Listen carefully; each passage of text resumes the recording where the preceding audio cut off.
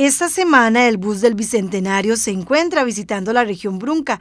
Se trata de la exhibición rodante Grupo ICE Baluarte de la Costa Rica del Bicentenario. La primera parada fue este martes en Palmar Norte en la Feria del Productor Oseño. Para el miércoles 7 de julio estarán en el Parque de Golfito y de ahí se desplazarán al Parque de Ciudad Neily el jueves 8 de julio, mientras que el viernes 9 de julio estarán en el parqueo de la Municipalidad de Cotobruz. Las visitas se realizan de 8 de la mañana a 3 de la tarde. Luego, la próxima semana estarán el lunes 12 de julio en Buenos Aires, mientras que el 13 y 14 de julio en Pérez Celedón.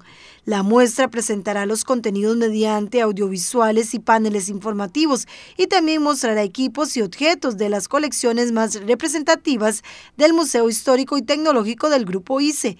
La entrada es gratuita y con ingreso controlado, de acuerdo con los protocolos del Ministerio de Salud por la emergencia sanitaria.